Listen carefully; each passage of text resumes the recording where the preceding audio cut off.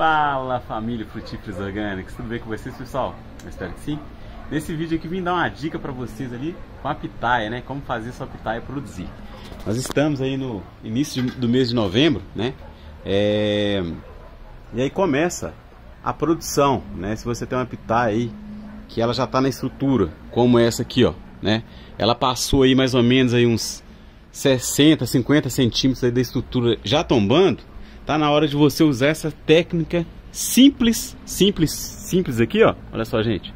Um centímetro aqui na pontinha da pitaia, ó. E cortar, ó. Isso, gente, ó. Aqui, ó. Isso aqui, ó.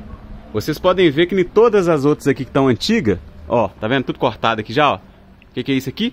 Botão floral, ó. Botão floral, ó. Botões florais. Ali em cima tá cheio ali de, de botões florais, olha aí.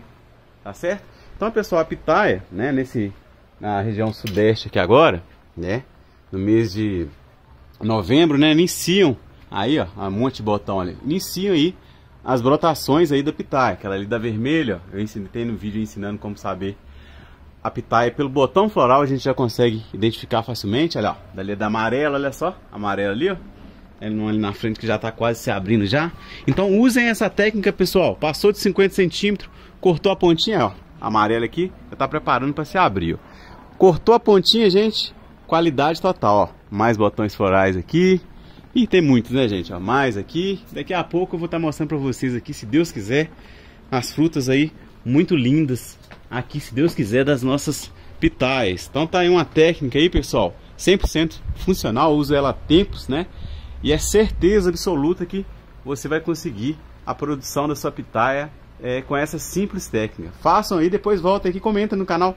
Pode fazer aí agora, hoje que você está vendo esse vídeo aí, ó, de hoje até, até, até fevereiro, até janeiro, pessoal. Né, Para quem está na região sudeste, podem aplicar essa técnica que vocês vão ter é, resultado maravilhoso aí. Abraço!